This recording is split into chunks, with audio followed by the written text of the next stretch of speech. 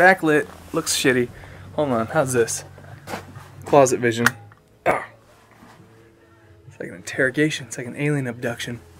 So basically, um, yeah, next Saturday, Grandpa Ben and I, Benjamin Haydock, and Joshy Washington embark on a month-long road trip across America. On road trip, yes, road trip.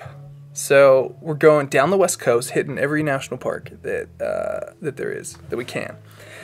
Hanging a Louie at LA, Arizona, New Mexico, all that. We're gonna drive through Death Valley. We're gonna hit up Zion National Park in Utah. Uh, we're gonna check out Mesa Verde. We're gonna check out the Petrified Forest.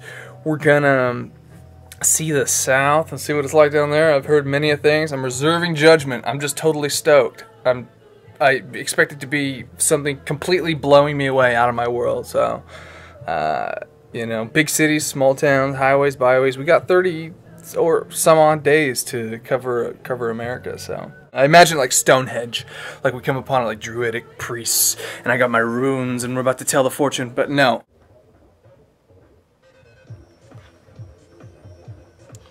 Shake it, shake it. I can do whatever I want for seven days before I leave. What you gonna do? Anyway.